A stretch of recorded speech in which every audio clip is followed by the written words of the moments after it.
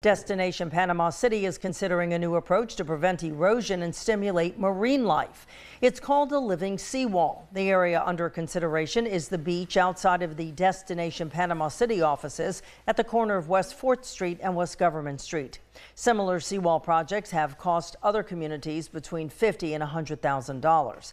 The Tourist Development Council will cover those costs. Destination Panama City CEO and President Jennifer Vigil says the seawall will have a positive impact. It's sort of an artificial reef, but it's near the shore. And what that does is it helps us where we have barren areas where the seagrass has stopped growing for us to really stimulate the ecosystem of the bay, which is beneficial to the bay, beneficial to the fishery.